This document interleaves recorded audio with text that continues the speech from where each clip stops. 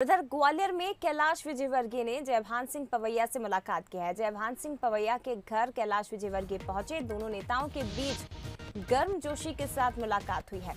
तो कैलाश विजयवर्गीय ने जयभान सिंह के पिता को श्रद्धांजलि अर्पित की और मुलाकात हुई है। दोनों नेताओं के बीच में तस्वीरें आपके सामने हैं।